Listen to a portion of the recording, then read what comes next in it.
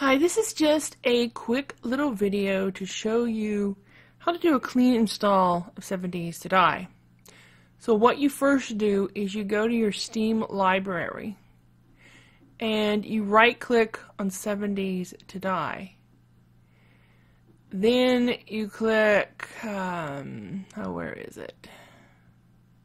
Delete local content. Now I don't want to delete my 7 days to die, so I'm not going to click that, but that's what you do.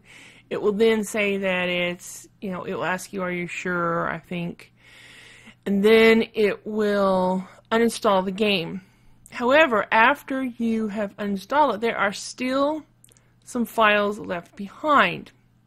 You can find these files, you go to um, your C drive, um, Program Files, x86, Steam, Steam Apps, Common, and you'll find a folder, 7 Days to Die. So what you want to do is click on this, and then right click and select Delete, or you can just hit the Delete key, and that will delete that folder.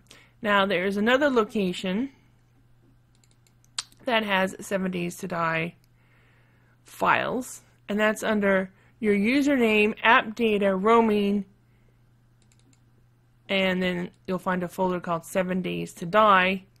You hit the click on left click on that, then hit the delete key, or you can right click and you can select delete. Now I'm not going to do it because I don't want to delete my game.